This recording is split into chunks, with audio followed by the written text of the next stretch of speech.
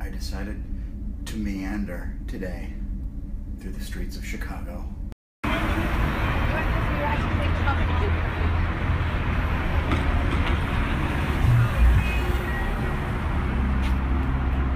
Currently in the Hard Rock Hotel, where even the restrooms are awesome.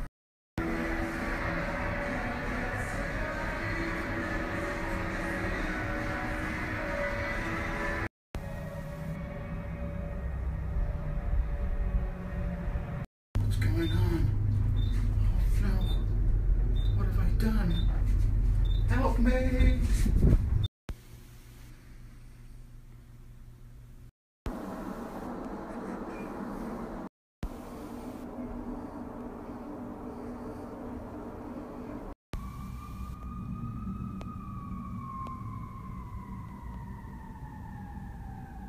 Well, I was going to go to the Ferris Bueller room and show you guys what it's all about, but apparently it's closed after 5, so I'll have to go back tomorrow. Kevin's to join me, so it should be a lot of fun, so make sure and not miss tomorrow's episode, alright? Toodles.